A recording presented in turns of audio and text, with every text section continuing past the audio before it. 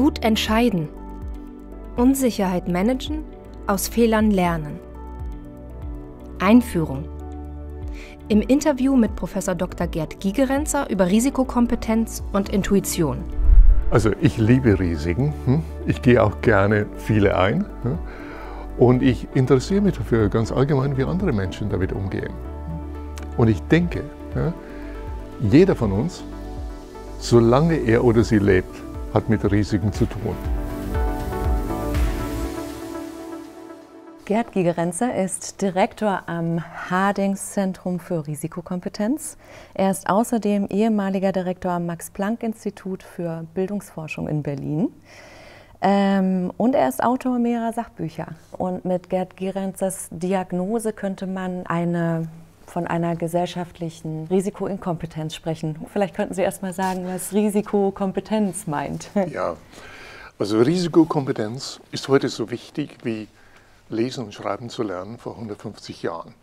Was bedeutet es? Es bedeutet es, dass man äh, die Risiken und Ungewissheiten im Leben einschätzen kann, abwägen kann und mit ihnen informiert und entspannt umgehen kann. Überraschenderweise, das weiß ich auch aus einem Ihrer Bücher, ähm, werden ja mehr als die Hälfte oder ungefähr die Hälfte aller beruflichen Entscheidungen in Unternehmen aus dem Bauch heraus getroffen. Eine Bauchentscheidung ist keine Willkür, mhm. sondern äh, Bauchentscheidungen oder intuitive Entscheidungen beruhen auf jahrelanger Erfahrung. Und sie haben die Eigenschaft, dass man schnell spürt, was man tun oder lassen sollte, aber man kann es nicht erklären. Ja, also kein sechster Sinn, keine göttliche Eingabe und auch nichts, was nur Frauen haben. Wir Männer haben auch Intuition. Ja.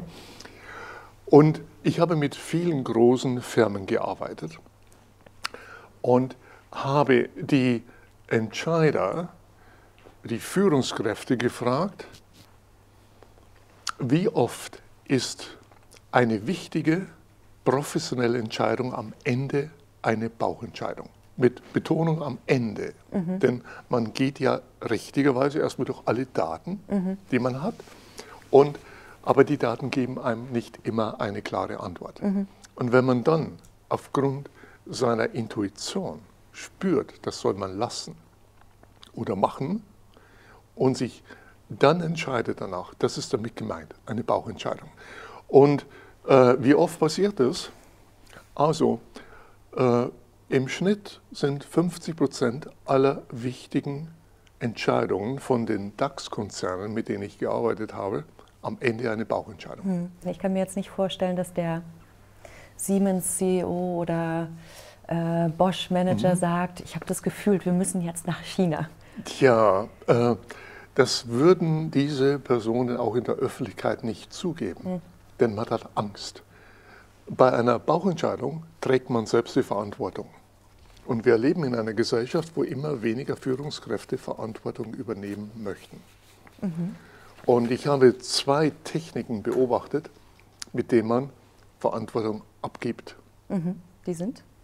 Das erste ist, man äh, stellt einen Mitarbeiter ab, der zwei Wochen lang nach Gründen für die intuitive Entscheidung sucht. Mhm. Und dann wird das Ganze präsentiert als eine sachliche Entscheidung. Mhm. Das ist eine Verschwendung von Zeit, Geld und Intelligenz, nur weil man Angst hat. Die teurere Version ist, man stellt eine Beratungsfirma ein, mhm. die dann auf 200 Seiten und mit PowerPoint dokumentiert, mhm. warum genau diese Bauchentscheidung das Richtige ist, mhm. ohne den Begriff Bauchentscheidung zu verwenden.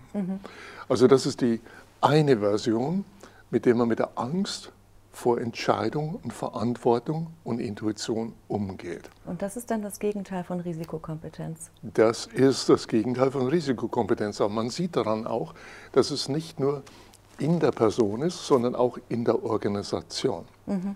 Denn viele von diesen Führungskräften haben zu Recht Angst. Mhm. Weil?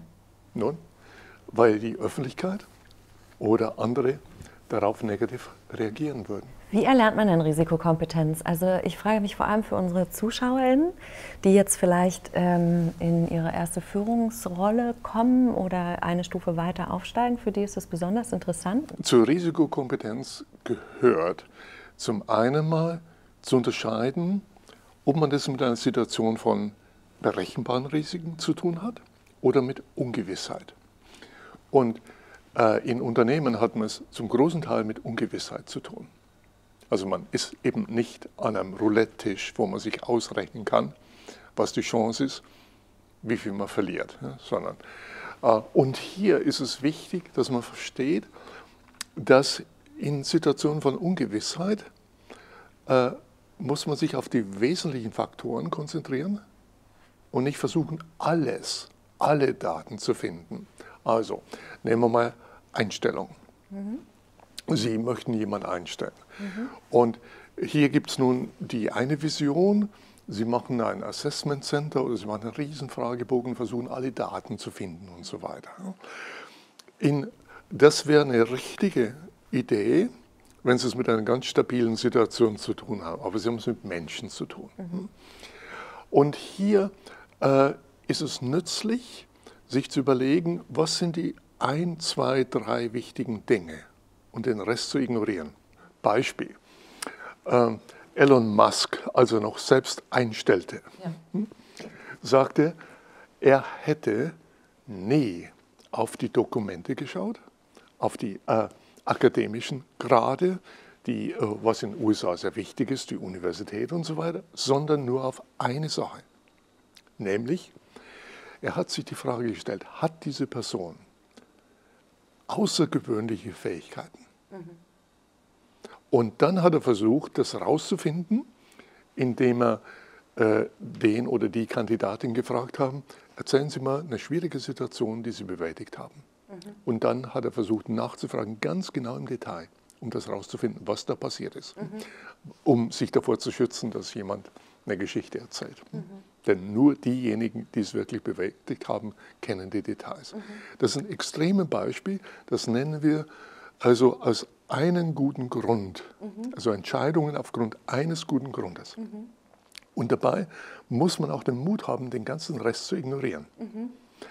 Das ist nicht die einzige Strategie. Man kann das ein bisschen äh, mehr ausweiten als auf nur einen guten Grund. Hm? Also äh, Jeff Bezos hm, nun äh, berichtet, dass er, als er noch Einstellungen machte, auf drei Gründe geschaut hat. Und, die waren? Und der erste war genau der gleiche wie Musk. Mhm. Hat die Person eine außergewöhnliche Fähigkeit? Mhm. Das, aber das äh, war nicht ausreichend in seinem Fall, sondern dann, also wenn Nein, Ende. Hm? Wenn Ja, dann eine zweite Frage. Äh, kann ich diese Person bewundern? Eine interessante Frage. Mhm. Nämlich, er glaubt, dass wenn er eine Person bewundern kann, kann er was lernen. Mhm. Aber das war auch nicht genug, sondern muss noch eine dritte Frage mhm. auf ein Ja bekommen, nämlich wird die Person in dieser Abteilung, wo sie reinkommt, hm, den Durchschnitt nach oben bringen. Wenn da auch Ja, Ende. Also das sind Beispiele für sogenannte Heuristiken. Eine Heuristik ist eine Strategie, wo man gezielt nach den wichtigen Dingen fragt und den Rest ignoriert. Man könnte auch Faustregel sagen. Aber, Richtig. Ja, mhm. Das ähm, ist der deutsche Begriff. Und äh, gibt es so ein paar Faustregeln, die Sie als Handreichung an unsere ZuschauerInnen weitergeben könnten? Oh, ja. Also das sind jetzt natürlich Profis, Bezos und Musk. Also äh, hier gibt es natürlich sehr viele und die sind oft auf Erfahrung gegründet und sie sind auch nicht überall gültig. Mhm. Es hängt wirklich auch von der Umgebung ab. Also mhm. Äh, die, eine, eine Regel, die auch für Einstellungen äh, gilt, aber das auf einem höheren Niveau ist, äh, stelle gute Leute ein und lass sie ihre Arbeit machen. Im Englischen hire well and let them do their job. Mhm. Und das ist ein Beispiel dafür, dass man, äh, dass eine solche äh, Faustregel das Klima einer Institution prägt. Mhm. Also die Faustregel, die haben die Führungskräfte. Das bedeutet eben erst Qualität. Man schaut genau hin bei der Einstellung und nicht nur so. Und dann kontrolliert man aber nicht weiter, also nicht klein, ja, mhm. sondern let them do their job. Mhm. Und das schafft Vertrauen. Mhm. Und die Kombination von den beiden mhm. ist so, was diese Faustregeln schaffen. Also das ist ein Beispiel dafür. Der Grund, warum die Max-Planck-Gesellschaft so erfolgreich ist, ist nicht allein darin, dass sie gute Leute hat, sondern ein gutes Klima. Mhm. Und das kann man durch diese Faustregeln definieren.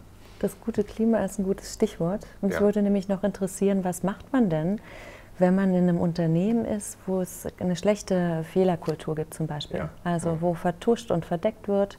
Wie, wie komme ich denn da dazu, die beste Entscheidung überhaupt zu treffen? Ja, also zum ersten Mal muss man das erkennen. Ja. und das ist oft in höheren Führungsschichten schwieriger, mhm. das zumindest zuzugeben. Mhm. Also eine negative Fehlerkultur ist definiert als folgendes. Erstens, es darf keine Fehler geben. Ja. Hm? Passiert einer, versucht man ihn unter den Teppich zu kehren. Gelingt das nicht, dann sucht man einen Schuldigen. Mhm. Und das führt genau dazu, für so eine defensive Haltung ja. unter den anderen ja. Führungskräften und auch Mitarbeitern. Jeder schützt sich selbst, ja. hm? ist sich selbst am nächsten und den kann eigentlich nicht für das Wohl der Organisation oder der Firma denken. Kann ich mich denn da auch auf einfache Entscheidungshilfen stützen? Ähm, ja, also der oder die CEO kann ein Vorbild setzen, indem sie oder er selbst etwa bei einer Versammlung oder Mitarbeiterversammlung sagt, bei dieser Entscheidung, für die ich war, ist ein Fehler passiert. Sie war falsch lasst uns zusammen überlegen, wie es da dazu gekommen ist. Und das setzt ein Zeichen.